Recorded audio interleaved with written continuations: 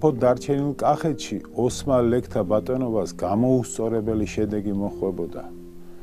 შავში გახიზნული ერეკლეს მამა თეიმურაზი მტერთან რომ არ გამოცხადებულიყო და კუთვნილი ხელისუფლება არ გადაებარებინა. ის იყო საუკეთესო დიპლომატი და მის ასპარეზზე გამოსვლას დიდი მნიშვნელობა ჰქონდა, რადგან კახეთის მეფე ბაგრატიონთაგან თეიმურაზის ოჯახი პარადიდგა ქრისტიანულ სარწმუნოებაზე. ქართს იმხელა მნიშვნელობა ჰქონდა საუკუნეების მანძილზე, რომ ვინც მას ფლობდა, კავკასიის გასაღებიც მასვე ეპყრა. უმეფო დარჩენილ ქართს კი ოსმალთა ბატონობისას საფაშოდ ქცევა არ აცდებოდა.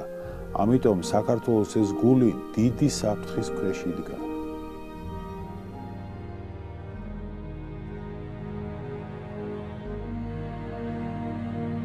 ოსმალეთ ჯერ კიდევ 200 წლის წინ ქონდა დაპყრობილი სამცხე საათაბაგო და ის ახალციხის, ტრაპიზონის, ერზერუმის და ყარსის საბეგლარბეგოებად ქონდა დანაწილებული. აი ასეთი ბედი მოელოდა ქართლსაც, რომლის საფაშოდ გადაქცევას გამალებით შეუდგა ისახფაშა და ის 6 ნაწილად დაყო. ზემოქართლი ჩააბარა გივიამილახვარს, მუხრანი მუხრან ბატონს, საბარათიანო ერასტი ყაფლანიშვილს. ტყურის მარჯვენა სანაპირო მცხეთის ზევით ბაგრატ ციციშვილს, არაგვი არაგვის ერისთავს, ქსანიკი ქსნის ერისთავს. ყველაზე დიდი დაბრკოლება ოსმალებისთვის ისევ და ისევ ქრისტიანობა იყო.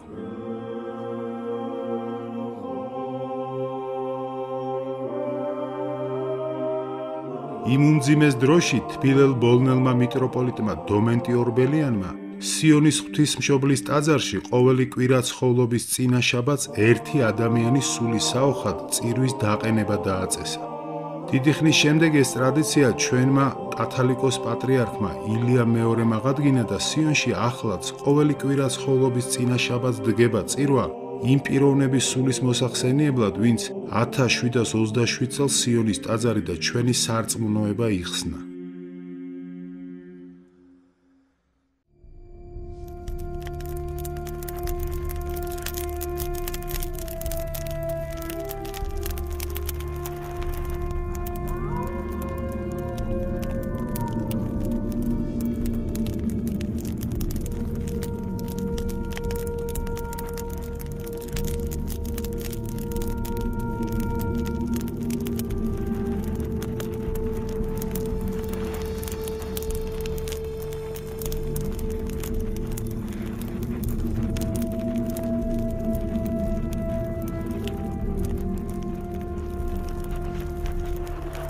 სირცხვილია.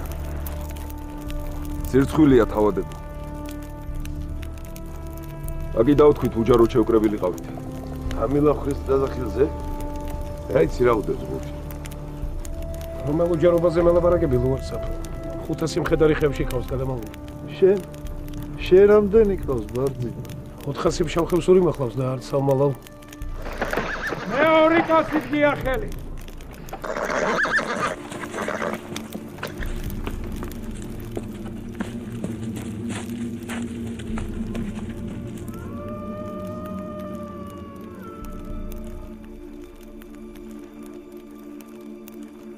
ახლა ერთმანეთის ხორცის გლეჯვის დრო არ არის თავადო. ქვეყანა უპატრონობით ხელიდან გვეცლება. აღარ ეწვისათქმელს, გივი? ისახ ფაშამ ბრძანება მიიღო სულთანისაგან. თბილისის სიონი მეჩეთად უნდათ რომ აქციონ. ასე თუ მოხდა, თანდათან ამოართმევენ მთელ ხარც სულს და მერე გათათრება არ აგწდება იცოდეთ მე ავაღებინებ ისახფაშას ხელს განზრახვაზე. ოღონ თქვენგან უნდა მქონდეს ზურგი გამაგრებული. უნდა შემომფიცოთ. თუ ოსმალო მაინც ხელყოფსიოს სიონს სისხლი დავიცავთ ჩვენს ქრისტიანობას.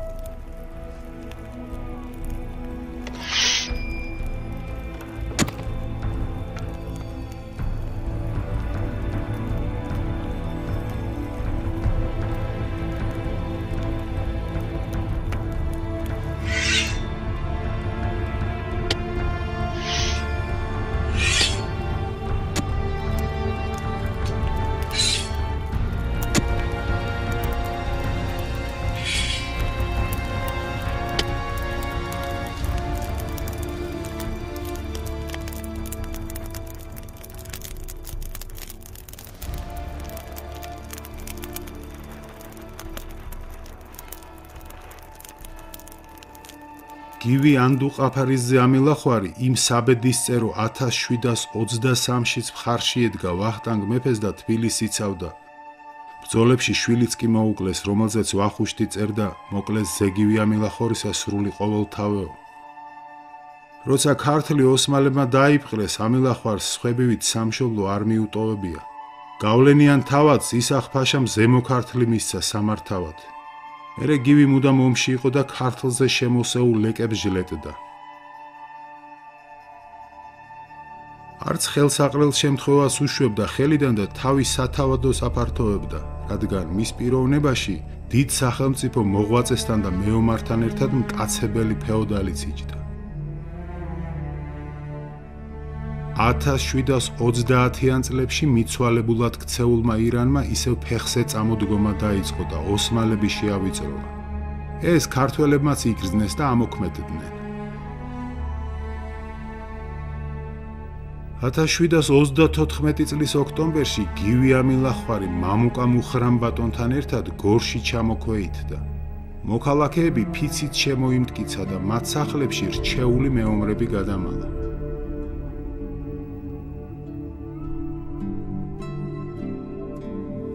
მაშინ თურმე გორში მდგარი ოსმალები ციხეში რაღაც მშენებლობისთვის მოქალაქეებს მორებს აზიდვინებდნენ და მათ მაინც და მაინც არ ჩხრეკდნენ. აი ამით ისარგებლა გივი ამილახვარმა.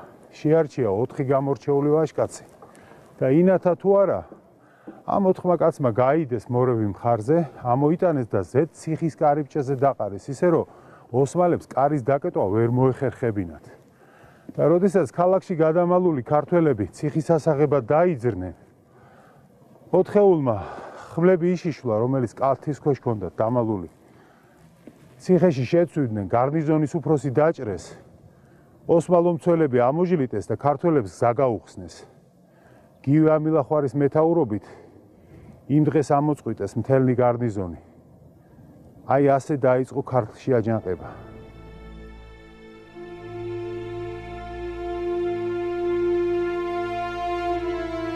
იმ დროს თბილისის ფაშა უსუპ ისაყიზზე კახეთზე სალაშქროდ ჯარით მაღაროს იდგა.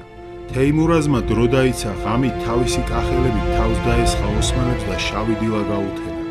დამარცხებული ოსმალების დასახმარებლად ქიზიხში ლეკები გამოჩნდნენ და სოფლები დაარბიეს.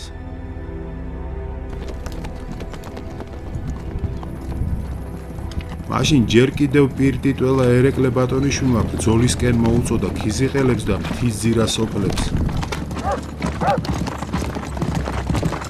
პატარა კახის დაძახილზე თურმე ქალები თვითონ უკაზმავდნენ ცხენებს ქმრებს და ტანზე იერახს ასხამდნენ.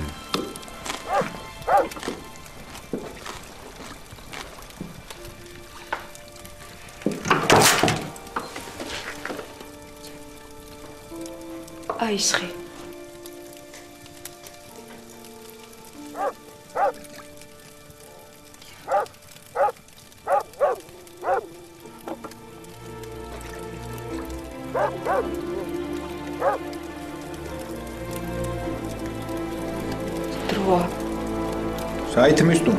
შეიშალე დედაკაცო თელიქის იყი ფეხზე დგას. ერეკლე ბატონიშვილი ლეგზე მიგა გასროშავ რა უნდა დააკლოს? 15 წლის ღლაპმა ბატონიშვილმა კბილებალეს ილეკებს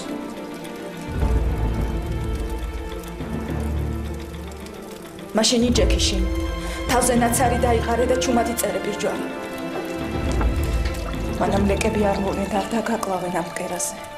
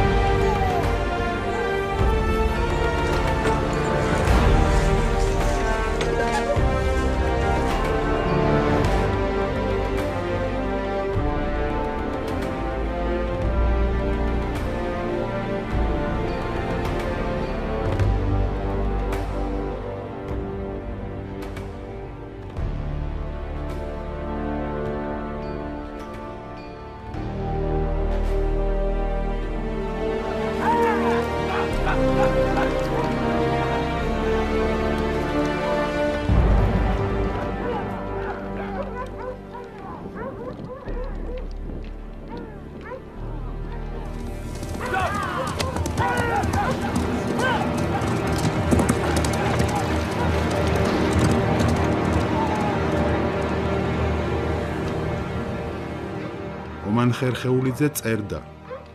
მაშინ იყო ძემეფისა თეიმურაზისა ირაკლი წლისა 15-ისა რომელმან შემოიყარა სოფლებიდან ჯარი.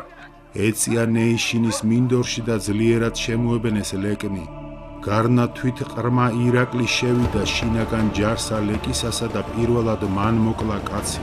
და ამის მხილველთა კაცს და ერთპირად მიმართეს ყივილით და წინა წარიქციეს ჯარი ლეკისა მოსწვიტეს და მოვიდნენ მაღაროს გამარჯვებულნი რომლისთვის ფრიად მხიარულნი იყვნენ კახნი იხირეს რა სიმხნე და მამაცობა მემკვიდრისა თვისისა. ალბათ იქ დაიბადა ცნობილი ლექსიც. ერეკლე ბატონიშვილი ერთი პატარა კახია ჯაჭვის პერანგი ჩააცვეს გაჰკრა ხელი და გახია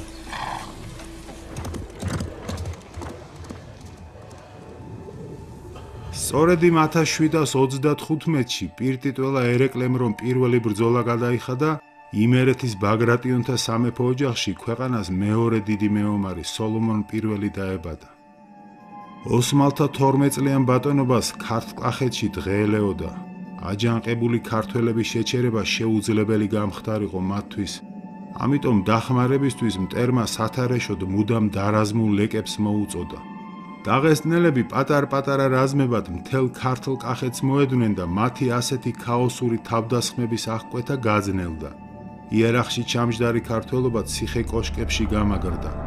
იდგა 1735 წელი.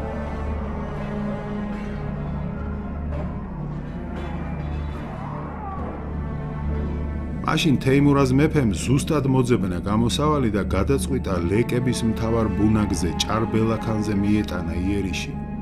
ასეთი რთული ლაშქრობისთვის დიდი ძალა იყო საჭირო და მანაც გაძლიერებული ირანის მთავარ სარდალს ნადირს მიმართა დახმარებისთვის.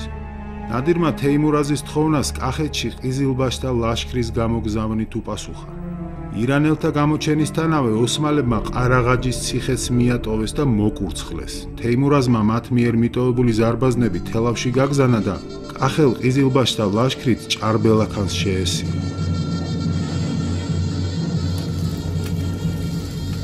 ზედიზედ დააქცია ციხეები, დაწვა და მიწასთან გაასწორა ჭარი კატეხი და თალაში.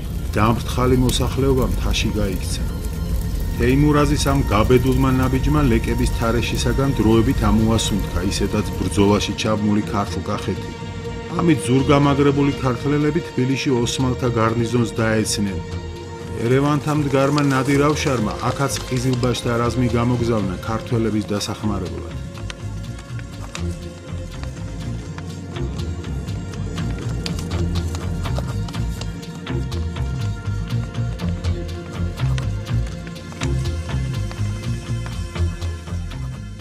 ოსმალების ბატონობით გაწამებული ქართველები მათი ჟლეტით იყვნენ გართული და ჯერ კიდევ ვერაცნობიერებდნენ რომ ირანელთა მხარში დგომა ახალ უღელს მოასწავებდა. მათ ჯერ არ იცოდნენ რომ ნადირ ავშარის სახით შაჰაბასე არანაკლებ დაუნდობელი მტერი მოსდგომოდა საქართველოს საზღვარს. სამაგეროდ ნადირმა იცოდა რომ ქართველები არც ერთ მტერს გულხელდაკრეფილი არ შეხვდებოდნენ და მაინც ვინ იყო ეს ნადირი დაანგრეული ირანისგან? ისევ სახელმწიფო რო ჩამოაყალიბა. მეომარ თურქმანთა ხორასნის მიწაზე დერაგოსში 1688 წლის 22 ოქტომბერს დაიბადა ნადირი. ის მწყემსის შვილი იყო ავშართა მომთაბარე ტომიდან. ძლიერი ხასიათის წყალობით ნადირი თავისი ტომის ბელადი გახდა საუკეთესო მეომარი იყო და გამარჯვებას რიცხ მრავალ მტერზე 1000 გვარი ოინებით აღწევდა. უდამ წინა ხაზზე ბრძოლით მაგალითს აძლევდა ჯარისკაცებს, რომლებიც მას აღმერთებდნენ. როცა ირანს ავღანელები ჯიჯგნიდნენ ნადირ ავშარმა, იმპერიის ჩრდილო-აღმოსავლეთი მიწები გააერთიანა.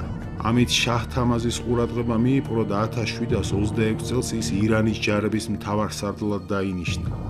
ნადირმა მათივე სამშობლოში შეუტია ავღანელებს და ირანი მათგან გაწმინდა. უკვე 1732 წელს დიდი გავლენის მქონე ავშარმა გადააყენა უნიათო შაჰთამაზი. ტახტზე მისი მცირეწლოვანი შვილი შაჰაბას მესამე აიყვანა და იმპერიის ფაქტიური მმართველი გახდა. 1734 წელს ოსმალებს შირვანში შეუტია ქალაქის შემახა წაართვა. რუსეთს პეტრე პირველის მიტაცებული გილანი, მაზანდარანი, ასტრაბადი, ბაქო და დარუბანდი დაათმობინა. მერე ბაღდადის მიმართულებით დაამარცხა ოსმალები. ერევანთანაც გაანადგურა მათი არმია, ყარსი აიღო და უკვე 1735 წელს საქართველოსკენ იბრუნა პირი.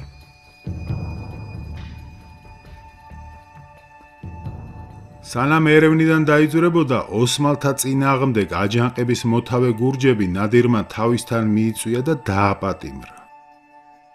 როდესაც მისი ურდო ქვემო ქართლში შემოვიდა, გივი ამილახვარმა მარჯვე დრო დაიცა. ქაიხოსრო ავალიშვილი აიყოლია მუხრან ბატონთან ერთად და ნადირს გზიდან გამოეპარა.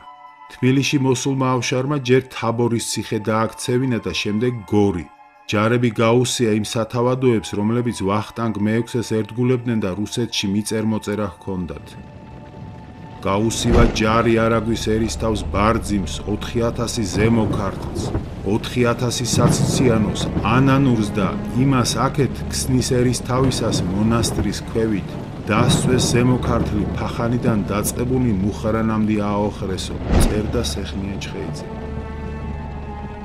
აი ასე დასაჯა ნადირშახმა ვახტანგ მე-6-ის მომხრეები რომლებმაც არც კი იცოდნენ რომ ჯერ კიდევ 1730 წელს რუსეთის მთავრობა მათ მეფეს გარკვევით განუცხადა, რომ ქართველები თურქების წინააღმდეგ ბრძოლაში მხოლოდ საკუთარ თავს უნდა დაღრნობოდნენ.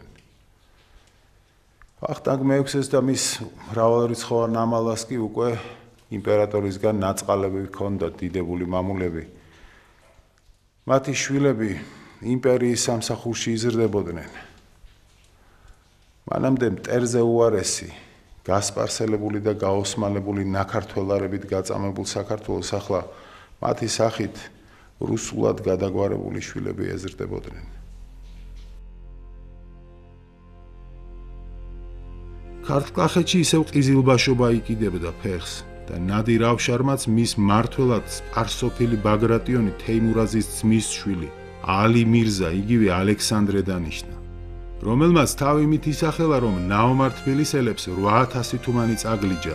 აწიოკებულ გლეხებს კი 75000 ფუთი ხორბალი 3000 თუმანთან ერთად და ნადირს მიართვა.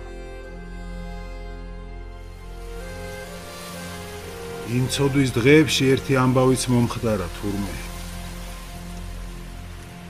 გივი ამილახვარის ასული ვახტანგ მეფის გადაგვარებული ძმის იესეს ვაჟზე თეიმურაზ ბატონიშვილზე ყოფილა დანიშნული და მათ სიყვარულს ამბატყვებოდა ხალხი.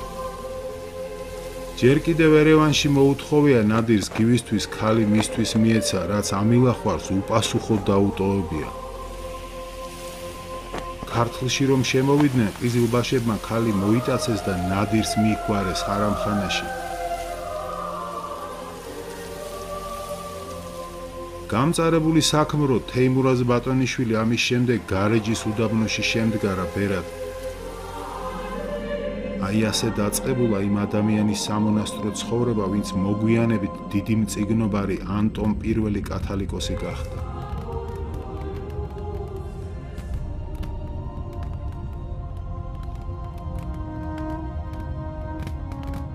უკვე ოქტომბერში თავისი ცხენაკლე მურმებზე ახუნძლული მომთაბარე ურდოთი ნადირი თბილისიდან აიყარა და გამოსაზამთრებლად შირვანში დინარე არეზის პირას მუღანის ველზე დაბანაკდა.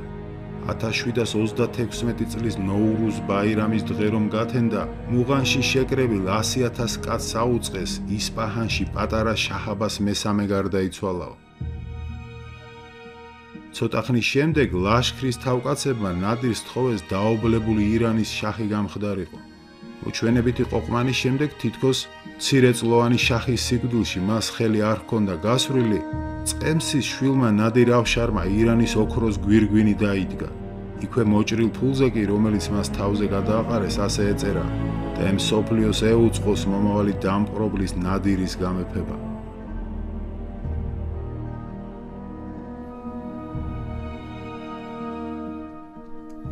უყანიდან გურჯების მოსარჯულებლად ნადირ შაჰმა დაუნდობელი სეფიხანი გამოგზავნა ლაშქრით. სეფიმ ჩამოსვლისთანავე არნახული გადასახადები შეაწერა ისედაც დარბეულ ქართლ კახეთს. ქართველებმა მანამდე ოსმალების საჟლეტად ამოღებული ხმლები ახლა ყიზილბაშებზე ალესეს და ერთიანად იფეთქა ყველგან აჯანყებამ. სეფიმად სადამსჯელო რაზმები გაუსია შიდა ქართლს, რომელსაც მარჯვედ დახვდნენ თავადები და ისეთი სისხლი ადინეს, რომ სეფიხანი იძულებული გახდა თბილისში ჩაკეტილიყო. ცოტა ხანში ბრძოლები რომ მინელდა, სეფიმ დამტკბარი სიტყვით მოსალაპარაკებლად მიიწვია გორის ციხეში. აჯანყების მოთავეები და დააპატიმრა. ტახტბატონი თეიმურაზი, ამილახვარი გივი, თარხანი ლუარსაბი, არაგვის ერისთავი ბარძიმი და ჩოლოყაშვილი გივი. შანშექსის ერისთავი გორში არ გამოცხადდა და როდესაც მის წინააღმდეგ ჯარი გაუსია სეფიხანმა, სულ თავბედი აწევლინა ყიზილბაშებს.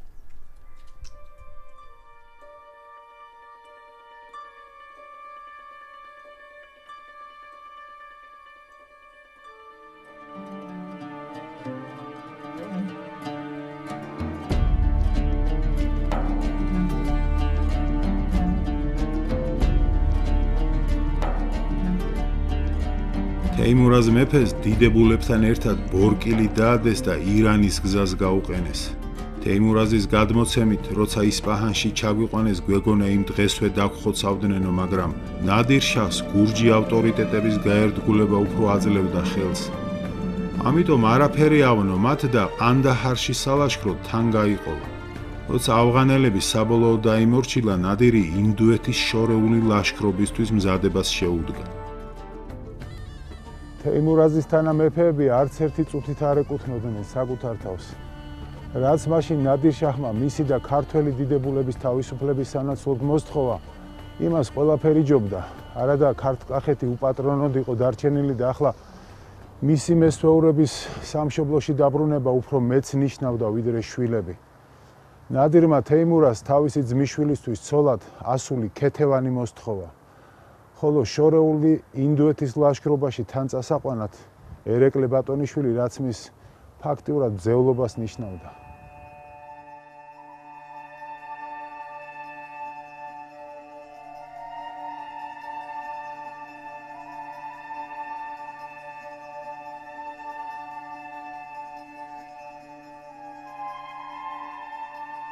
უჯიშო გადამთილზე ქალიშვილის გათხოვებას ასე მოსთქვამდა თავის ლექსში თეიმურაზ მეორე. თვით ყენმა უსამართლო საქმე მიყო მეტად ძნელი, გამომართვა ქალი პირმზე ვისგან ნათობს ხამებნელი. ძმის წულს მისცა შესართავად კლავ ბოძება საღარველი, გამე მისის მოშორებით დამიწყლულდა გული მრთელი.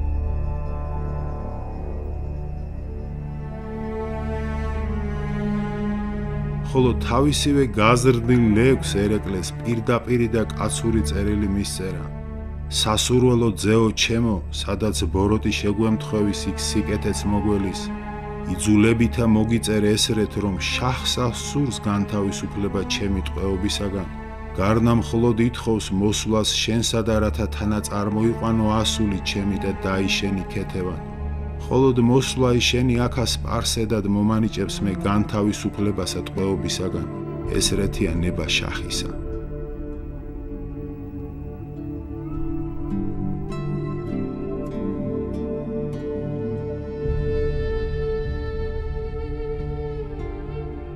ცოტა ჩვენს ისტორიაში ისეთი მამაშვილობა როგორც ამ ორ ადამიანს ჰქონდა უმკაცრეს სამხედრო წესი აღზრდილი 18 წლის ერეკლე უსიტყოდ დაემორჩილა მამის ნებას და საუკეთესო მეომარი თავადიშვილების თანხლებით ირანის გზას დაადგა.